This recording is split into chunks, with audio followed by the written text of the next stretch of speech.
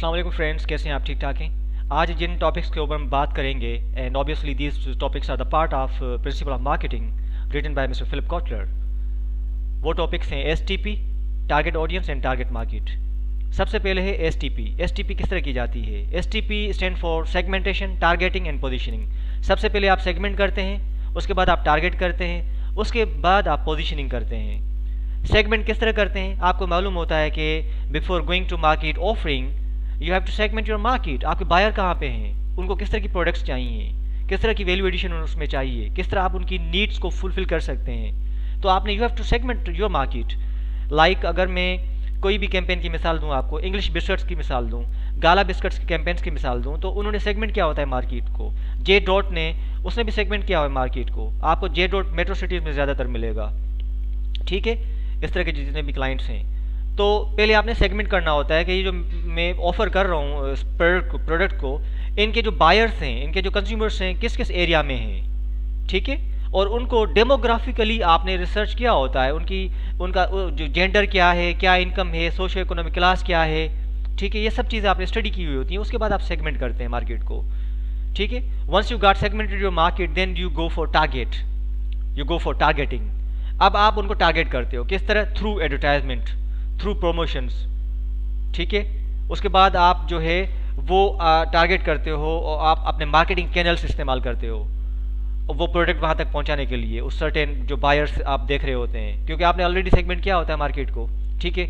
आपने कराची को सेगमेंट कर लिया, आपने हैदराबाद को कर लिया, आपने पेशावर को कर लिया, आपने जेट डॉट की जितने भी प्रोडक्ट्स हैं वहाँ पे आपने सप्लाई करना शुरू कर दी। इसी तरह, अगर मैं गाला बिस्कट्स की बात करूँ तो ज़ाहिर है बलूचिस्तान में तो इतना वो हिट नहीं करेगा अप्रोच नहीं करेगा या सप्लाई नहीं करेगा क्योंकि वहाँ पे जो कुछ और आ, आ, मसले मसाइल हैं वहाँ पे जो लोग हैं वो एक इतना परचेजिंग पावर उनका नहीं है इतना।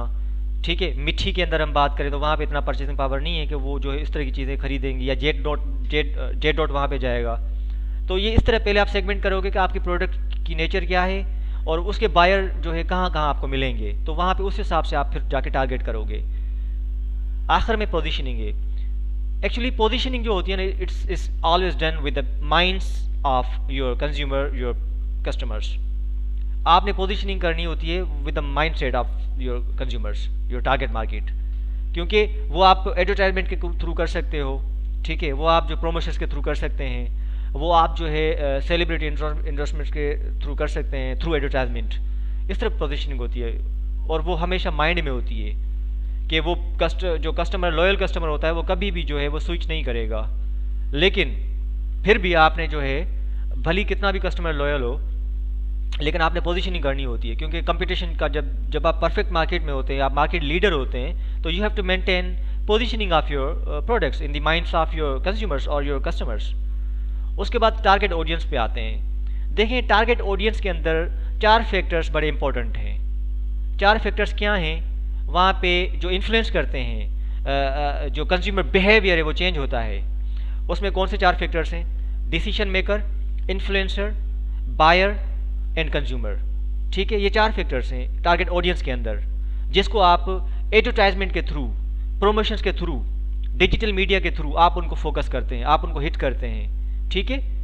आप अपने प्रोडक्ट के बारे में उसको बताते हैं। फिर उसमें कोई एक अगर काम कर गया तो आपने you you you definitely get your you know certain targets क्यों? अगर आपने बायर को हिट कर लिया तो डेफिनेटली वो जाके बाय करेगा। अगर आपने इन्फ्लुएंसर को भी हिट कर लिया, उसको भी आपने अपने अच्छी जो है मार्केटिंग से, अच्छी एडवर्टाइजिंग से उसको कन्विंस कर लिया तो ऑब्वियसली ही विल इन्फ्लुएंस ठीक है? और उसके बाद जाके वो बाइंग होगी, वो आपका कन्वर्ट हो जाएगा टारगेट मार्केट में। एक्चुअली टारगेट मार्केट और टारगेट ऑडियंस जो है, इसमें ज़्यादा फ़र्क नहीं है।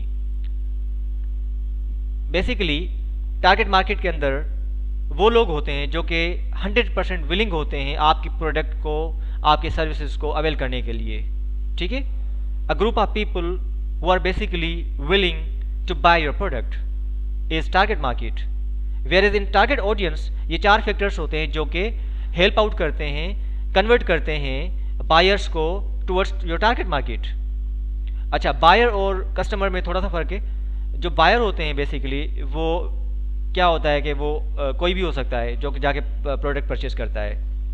लेकिन जो कंज्यूमर होता है वो एंड यूज़र होता है। लाइक अगर मैं अपनी मिसाल दूँ अगर मुझे आ, प्यास लगती है और मुझे पानी चाहिए तो मैं जाके मिनरल वाटर की बोतल परचेज करूँगा वह मैं यूज़ करूँगा। तो I am the consumer of Nestle लेकिन अगर वो मेरा भाई लेकर आएगा तो my brother will be the buyer of that product not consumer तो ये जो दो फैक्टर हैं टारगेट ऑडियंस के अंदर काउंट होते हैं। इन्फ्लुएंसर आ गया डिसीज़न मेकर आ गया, और बायर आ गया कंज्यूमर आ गया। ठीक है? टारगेट ऑडियंस के अंदर।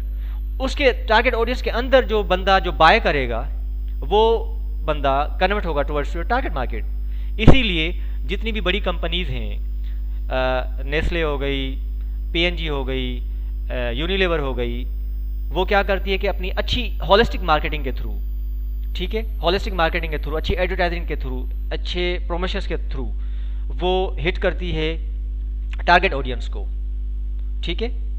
उसके बाद टारगेट ऑडियंस से जो टारगेट मार्केट बनती है, क्योंकि वहाँ पे जो बायर होंगे वो end of the day will be loyal to your product आपने फिर उसकी पोजिशनिंग करनी है, क्योंकि एक दफ़ा वो जब कंज्यूमर आपका बन जाएगा कस्टमर आपका बन जाएगा तो you have to retain the relationship between that consumer and your company that's why Philip Kotler already said in definition that you have to manage you have to retain the relationship with your consumer with your client you have to build strong customer relationships it only happens जब आप अच्छी जो है product और services और value addition अपने client को देंगे, अच्छी पोजीशनिंग करेंगे।